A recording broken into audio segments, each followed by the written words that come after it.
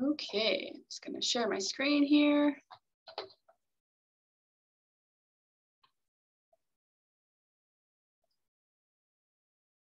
Everybody see that okay? Okay. Well, welcome everybody to our first Chamber Lunch and Learn of 2022.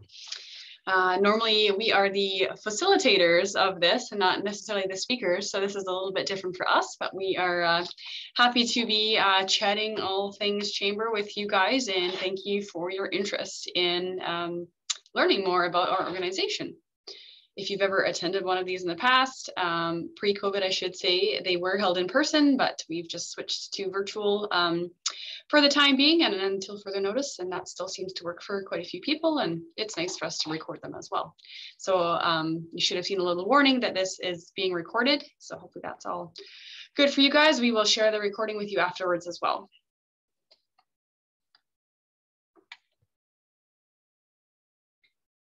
So today we are going to chat about who the chamber is exactly, why we exist, or in other words, our mandate as an organization.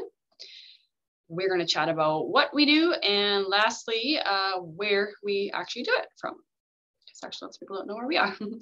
uh, if you have any questions anytime throughout the presentation, you can feel free to type them in the chat box. Um, you can also raise your hand if you want, but um, being on presentation mode, I can't always see see the reactions right away. So um, chat box works or whatever you're comfortable with. Um, we'll do our best to answer them during the presentation and we can answer questions at the end as well if they come up later. We um, want this to be engaging, so definitely don't be shy. We want to chat with you and, and hear back from you. In terms of who we are, so these are our uh, core five staff here at the Chamber of Commerce. We have actually quite a few staff, but to keep things simple, these are the core five. Um, so obviously in the front here is myself, Marley Henney. I'm the Office and Chamber Services Coordinator. So what that kind of means, well, I think I have the longest title of everybody. what that means is um, essentially I handle the communications for the chamber, our online presence, essentially of any kind, um, chamber events and membership services. And then next we have Heather Bitts here, who's also here today with us. She is our executive director and oversees all of the departments of the chamber. Next in the yellow here is Kathy Little, who oversees our support services uh, division. Heather will kind of explain that a little bit better uh, in a few more slides. And then we have Debbie Chinor here, who is our uh, friendly face at the Visitor Information Center and World's Largest Dinosaur. So she's our visitor, or sorry, tourism services manager. And then lastly, we have Trudy Green, who is our bookkeeper. And I will pass it over to Heather to explain how our board of directors works. Excellent. Thank you, Marley. Um, so yes, here we have our Chamber of Commerce Board of Directors. Uh, the Chamber is governed by a volunteer board of directors. Uh, currently, we have 11 directors, but our bylaws do allow us to have 12 elected members and one appointee from the town of Drumheller. So our president um, currently is Martina Morrison with Riverside Value Drug Mart. Vice president is Deanna Hannum with Dinosaur Valley Massage and Wellness. Secretary Treasurer is Lisa McGee with ProPlan Financial and the Cooperators. And our past president is Jeff Hall with Meyers Norris Penny or MNP. Our directors at large uh, right now are Mike Bell, Christine DeMille, Brandy Schneider, Bob Shetty, John Schaff, and Shannon Wade. And our appointee from the town of Drumheller is Councillor Lisa Hansen-Zacharuk. And I'd also like to just note, uh, because it's timely and coming up, that our annual general meeting will be held near the end of March. So at our AGM, we will elect uh, new directors to our board. And typical board terms are three years in length. And we will have, um, at minimum, four three-year terms up for election. We're just sorting out um, that because we do have some vacancies, um, but there will be at least four three-year terms up for election this year. And to be eligible to serve on the board, uh, just note members must be in good standing, which means that your business membership must be paid in full no later than January 31st of each year. So you have until Monday um, next week to um, have your membership paid in full, which would mean you would be eligible to serve on the board of directors if you so choose. And if you are interested in serving on the board of directors, please let me know and I can provide you with some in additional information regarding board of director expectations. Uh, next slide, Marley, please. Okay, so here we have um, some diagrams showing our, our timeline and our structure for the organization. So the Drumheller District Chamber of Commerce um, has had a long history of serving the Drumheller business community. The origin of our chamber dates back to 1919, actually. Previously, we were named the Drumheller and District Board of Trade, our organization then transitioned to the Drumheller and District Chamber of Commerce, what we are today. Um, that change in name took place back in 1968, December of 1968, actually, when we were um, federally incorporated under the Boards of Trade Act. And then another key date in our history uh, was the opening of the world's largest dinosaur in October of 2000. So the Drumheller District Chamber of Commerce has four key departments. Uh, the Chamber of Commerce ultimately is a membership-based organization. Uh, we're a nonprofit comprised of businesses, organizations, and individuals who are committed to building a strong business community. We are not connected to the town of Drumheller, which is a common misconception. The Chamber is focused on providing, as, uh, as Marley mentioned, uh, services to our members who pay an annual membership fee to belong to our organization. And Marley will get into those greater details about the services that we um, provide our members later in the presentation. Next, uh, we have the world's largest dinosaur attraction and gift shop. And uh, just a small note about that, uh, pre-COVID, uh, we welcomed on average 125,000 visitors per year uh, to the attraction. And then uh, located alongside the gift shop is our Visitor Information Center, which provides a valuable service to the thousands of visitors who uh, come to Drumheller each year. Our VIC is endorsed by the town of Drumheller as the Community Visitor Information Center and is open year round like the world's largest dinosaur and gift shop. And our last department, uh, which we mentioned um, Kathy Little is our support services manager. So our support services division has been in existence since 2000, 2003. It was established solely to contract with the government of Alberta to provide staff in various areas of the Royal Tyrrell Museum. So basically we act as an administrator to provide payroll services in exchange for an administration fee. And next slide, please, Marley. Okay. So here is our mission and vision statement. Our mission statement focuses on four pillars, uh, those being promotion of local business, awareness of membership benefits and the Drumheller and District Chamber of Commerce, advocacy on behalf of our members at the local, provincial, and federal levels, and providing opportunities for our members to learn, share, and network and our vision statement, the Drumheller and District Chamber of Commerce supports and engages businesses in making the Drumheller area a vibrant and diverse community. And next slide, please, Marley. So I'm going to talk a little bit about advocacy now and what advocacy is. Um, so as a Chamber of Commerce, one of our key roles is to advocate on behalf of businesses to help promote a stronger economic climate. We do that in several ways, whether it's drafting policy resolutions, sending letters to government, or surveying businesses and then providing feedback to government on various uh, topics. Our chamber has advocated locally to the town of Drumheller on a variety of uh, topics, including most recently the fireworks bylaw. Uh, we've also provided input and direction feedback uh, to the town on the mobile vendor bylaw, the downtown area revitalization plan, derelict buildings, and the municipal purchasing policy, to name a few. Our chamber is also members of the Alberta and Canadian Chambers of Commerce uh, networks. Um, so they also advocate on behalf of businesses to the provincial and federal governments. And at the provincial level, we attend the Alberta Chambers of Commerce AGM and participate in their policy committee uh, as well. In 2020, uh, just to note, we partnered with the Grande Prairie and Cold Lake Chambers to submit a policy resolution on electricity distribution and transmission fees. And although the policy was not adopted by the members of the Alberta Chambers of Commerce at that time, we are currently working with those chambers again and hoping to resubmit a revised policy for consideration at the 2022 Alberta Chamber AGM. So uh, stay tuned for further details on that. And at the federal level, for the past two years, we have participated virtually in the Canadian Chamber AGM, where, like the Alberta Chamber AGM, policy resolutions of a federal nature are put forward to the membership for consideration. Throughout COVID, the Canadian Chamber has been active on a number of fronts advocating for business with regards to financial business support programs, rapid testing programs, and more recently, um, we've noted they've spoke out on um, truckers and vaccination, vaccination requirements. So a lot of uh, activity at the, the provincial and, and federal uh, chamber networks.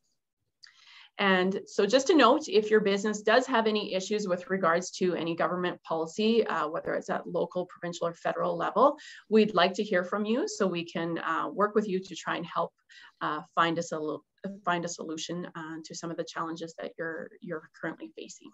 So please feel free to reach out to us, um, give us a call, send us an email. Uh, we'd be happy to hear from you. And Marley, please uh, move to the next slide. Thank you. And uh, this just to highlight some of the advocacy in action. So on the left, there's a photo from the Alberta Chambers of Commerce AGM, where delegates are voting on the proposed policy resolutions uh, that are submitted by Chambers of Commerce from across the province. And then uh, the image on the right is just a note about when it comes time to municipal or provincial election time, the Alberta Chambers of Commerce puts together their Vote Prosperity um, campaign, their platform. So Vote Prosperity is the Chamber's uh, network's nonpartisan and non-candidate specific platform of business priorities um, to support shared long-term prosperity in communities across the province. And of note as well, uh, your Chamber of Commerce, um, when election time does come, we also um, host election forums um, for the local uh, municipal government elections as well as provincial and federal. So we're active uh, at that level as well. So that is the end of my slides. I think we're gonna pass it back to Marley. Thank you. Thanks, Heather. Okay, talking about chamber events. So that's probably been the biggest change for us in regards to um, the pandemic. Pre-COVID, our chamber did a lot of events, probably about one per month, actually at least one per month, I would say, and lots of committee meetings. Um, pretty well all of our um, events that had a, a, registration fee or a ticket fee of some kind, we did provide a chamber member discount. So members always paid less to attend our events. Um, generally members could, or non-members could attend most of them anyways, though, just for a higher fee. Um, and of course, uh, COVID kind of made it really difficult to host the majority of our larger events, but we did still host an AGM each year. We've kept up with our lunch and learns, as I mentioned, um, just transitioning to doing them virtually. Um, our awards event is uh, since 2018, we've been doing that um, actually in partnership with the town of Drumheller, the local Rotary Club, and Travel Drumheller. So that is um, the celebration of excellence if you've heard of that event. Uh, we present six awards at that event, and the other organizations um, present a variety of numbers of awards as well. And so that's a nice a celebration event for the whole community and we are hoping to um, bring that back this year and have it in June. So fingers crossed that that can go ahead as planned. Um, our Women in Business Mixer is a popular annual event that we host um, during Small Business Week each year. So that's the third week of October. This photo to the right here is actually um, a photo from the last in-person Women in Business mixer that we had at the Canalta Jurassic Inn. So we are looking forward to the day when we can do um, all those things in person again, but uh, just doing virtual as much as we can in the interim. And our Jingle Mingle is uh, another popular chamber event. Um, it is a members only event. Uh, it's our appreciation mixer that we host um, in the start of December each year. And a lot of our members say that that is actually their favorite event to attend. Like everybody else, we had to shift quite a few directions uh, the last couple of years um, for obvious reasons. As I mentioned, losing um, a lot of our larger events to COVID, uh, that was not ideal for us financially, but it was um, beneficial in the sense that we we got really focused on business supports. Um, we we got a lot uh, stronger at that. Did a lot more business outreach and helping businesses um, for example navigating the never ending um, covid information uh, covid restriction information. We had to decipher that and help explain that to businesses quite often. Not so much as of late but in the first um, year and a bit i would say when when there were changes more often. We also um, helped businesses make heads and tails of the financial aid programs and figure out which ones they could apply for, how to apply for them, et cetera. So we we stayed busy with that for sure. And that was something that we we helped every business with, regardless of membership, because we just wanted to um, help the, the business community as a whole as much as possible throughout all of this. Um, from the end of March 2020 to roughly early June of that year, we did maintain a, a, status of local businesses list on our chamber website. And so that was a way for the community to be able to see um, the status of, of businesses in town, if they were open, closed, open with restrictions. Um, so we did that for quite a while. Um, and we increased our communications as well. We went from one chamber newsletter a month to doing them every single week for a while while there was so much information to, to pump out essentially. Um, now we're doing them every other week because there it does, does seem to be quite a bit of, of stuff to share with, with businesses. So we got good feedback that that was helpful to have that communication from us every other week. We were involved with the town of Drumheller's emergency response um, during the state of local emergency. Um, one big thing that we did there was to help distribute items to businesses. So if you remember when the plexiglass shields first started coming up at businesses and the uh, stickers on the floors for spacing and posters, all that stuff, um, we acted as a essentially a distribution center um, to get help businesses get those items.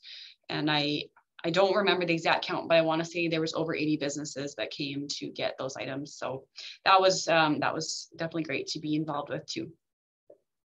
Uh, virtual lunch and learns, like I said, we switched to virtual for that. Um, in the summer of 2021, all chambers of commerce across the whole country were able to apply for shop local funds from the federal government. So we did that to launch seven different projects. So we uh, stayed busy with that since the summer of 2021. Those projects were um, our, our rounds of Mission Possible, if you saw that on social media with the spies and their uh, activities. Uh, Chamber Cash, we launched our Chamber Cash program, um, which is essentially a local gift certificate program um, our customer service superstars promotion that was in the fall. What am i forgetting? Oh shop local bags and chamber market. Um, chamber market is a e-commerce initiative that was launched by the alberta chambers of commerce. And so we so far have helped about 11 businesses get onto that so far and and we're working on helping a few more. So we are involved in that too to help businesses sell products and services online uh, in the fall of 2021, we started uh, also offering rapid test kits. So that is a program, again, with the government, uh, the government of Alberta this time, where we can distribute rapid test kits to businesses that are willing to um, kind of participate in a weekly testing program with us. And another, um, well, something really positive and fun from 2021, we did a lot of ribbon cuttings. So COVID has has been rough on a lot of people, but we've also seen some some highlights the last year, uh, two years.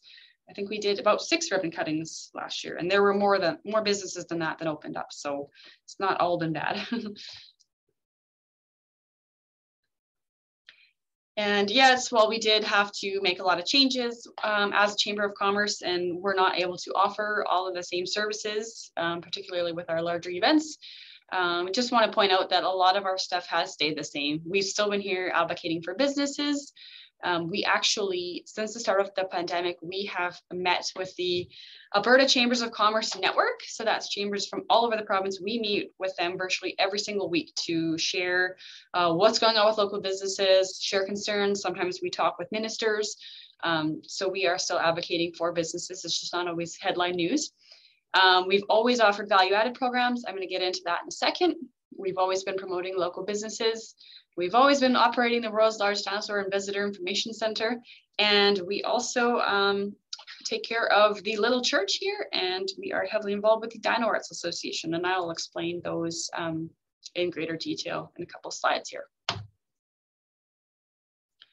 So when I say value-added programs, these are um, savings programs or other kinds of benefit programs that chamber members can access with their membership. Um, these are just a sampling of them. Um, there's always at least 15 that we can offer. These are the most popular. So our, for sure, our most popular is the Chambers of Commerce Group Insurance Plan. Um, that is exclusive to Chambers of Commerce. That's why it's called that.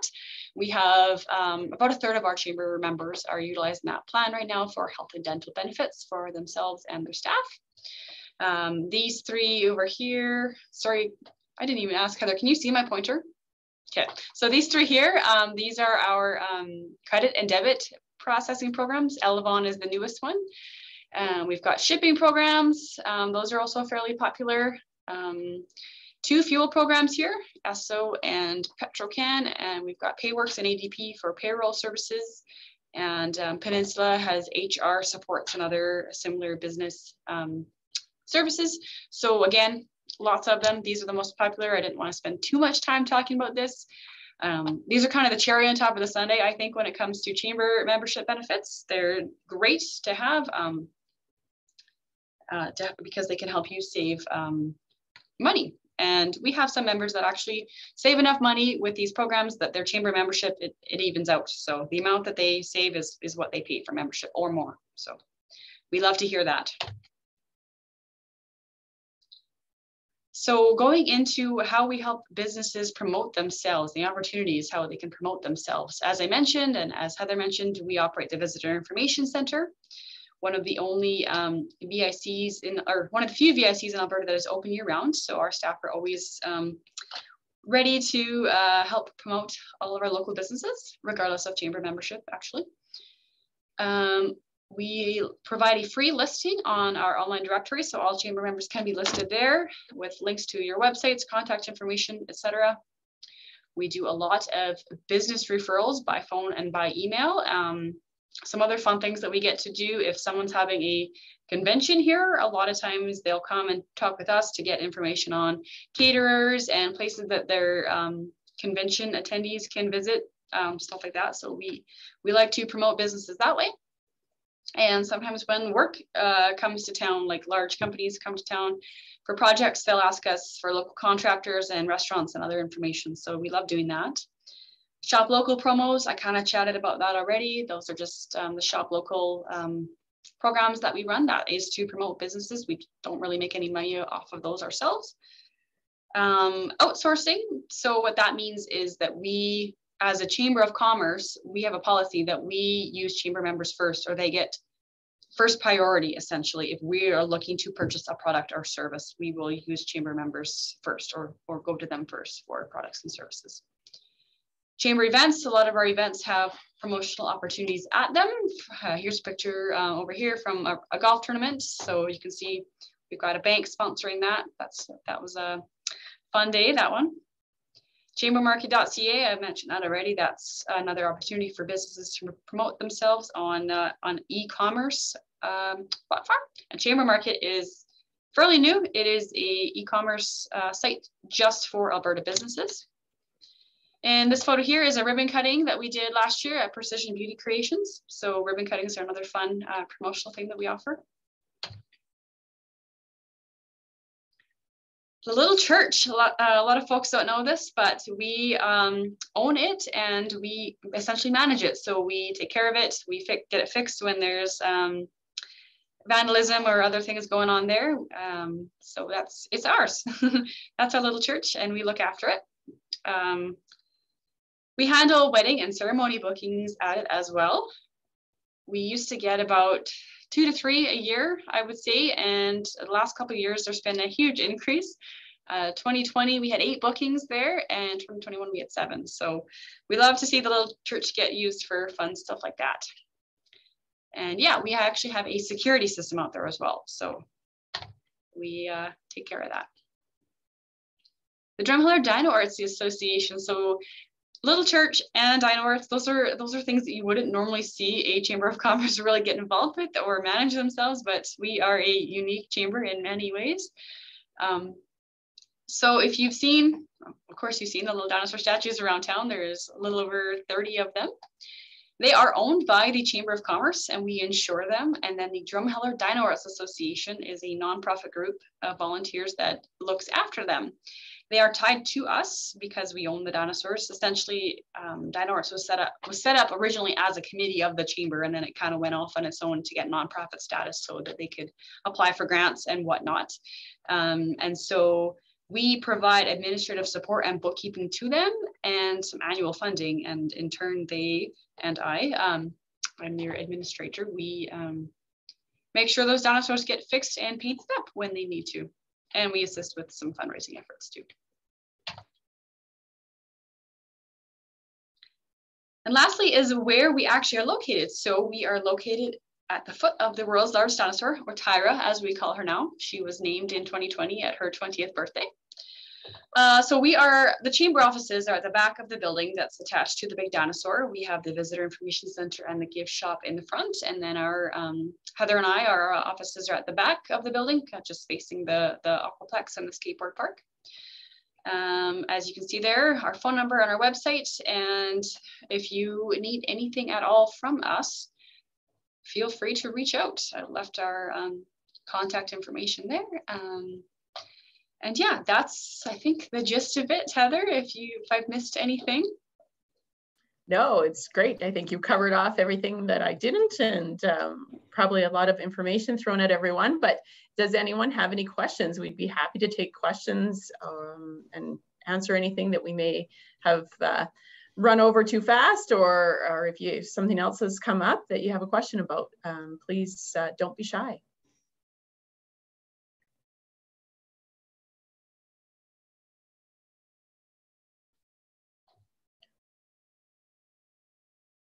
Everybody's quiet. Um, you Valerie's can type thinking. in. Yeah, Valerie's thinking that she might have a question. She looks like she might have a question. no.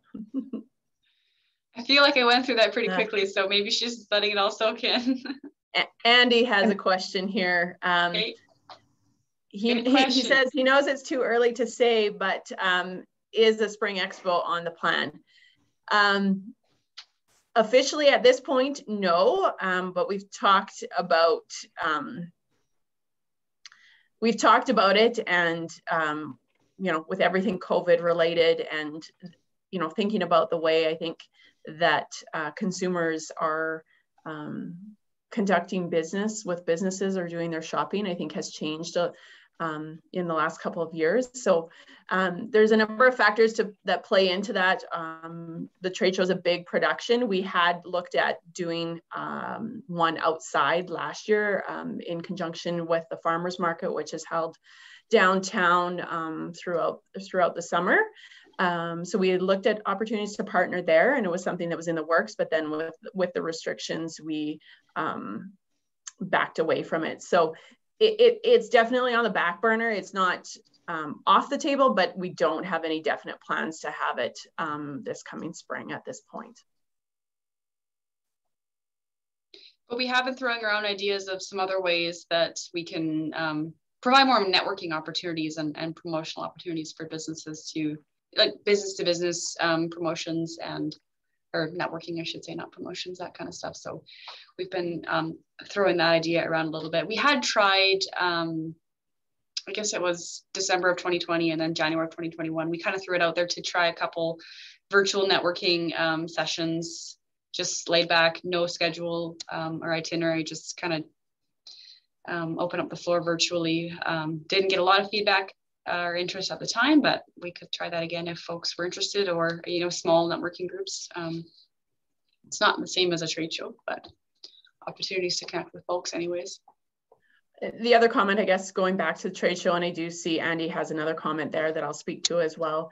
Um, you know, with with the trade show in the past, um, you know, when we started it, our initial hope was to encourage local business involvement and um, while we did have some local businesses like yourself, Andy, there was lots of others that came from out of town. And um, you know, especially with last year and our shift to more of a shop local uh, focus, we spent a lot of time and effort um, focusing on our businesses that we have here to, to promote them and um, help boost their businesses. So um, we know from experience we couldn't run a trade show purely on locals, but um, you know, hard to um, hard to do it without that outside outside vendors coming in as well. So just some, there's a lot of factors in, in, in considering um, moving forward with the trade show. So um, hopefully that answers your question. The other comment I see you put in there about the plaza downtown.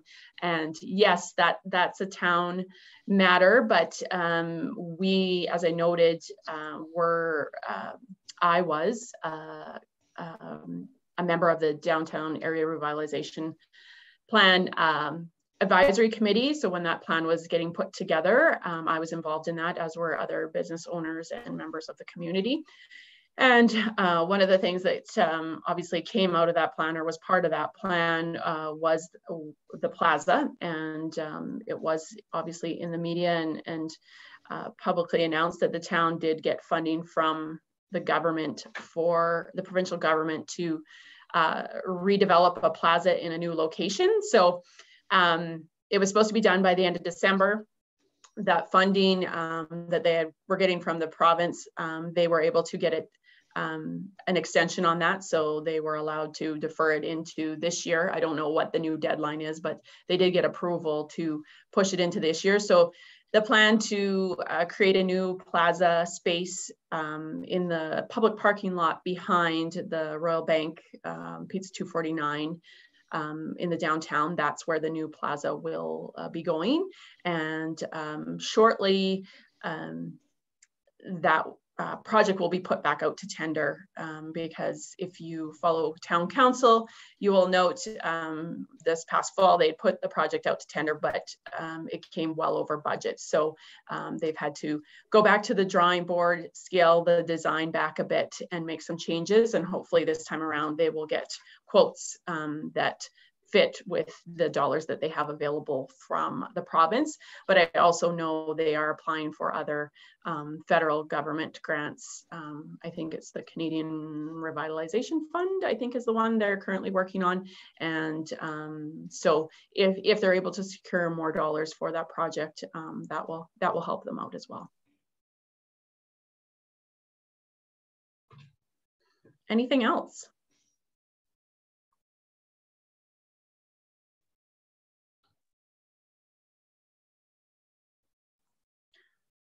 Okay, well, if there's no other questions, um, again, we posted how you can get a hold of us after if something comes up. Certainly don't hesitate to reach out to us, um, but it's just after 12.30, so it looks like we're giving you back half of your lunch hour. So um, I hope you enjoy the rest of your day. And uh, again, thank you for your time. Uh, we appreciate it. And uh, we'll send out the recording of this uh, after as well if you wanna go back and uh, listen to something again.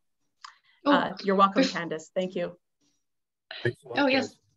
Um, before we leave, I just thought I'd mention to you our next Lunch and Learn topic. So that will be February, I'm just looking at my calendar, 23rd, same time, um, and it'll be virtual again.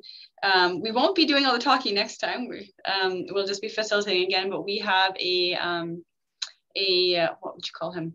An expert um, who's going to be talking about Google Google business profiles and how to make the most of your Google business profile to help boost um, awareness of your business. So registration link for that is accessible on our website, or I can email you the details on that if you want. But I, th I think that's going to be really interesting too. Um, I love to brush up on all that stuff. So check that out if that's of interest.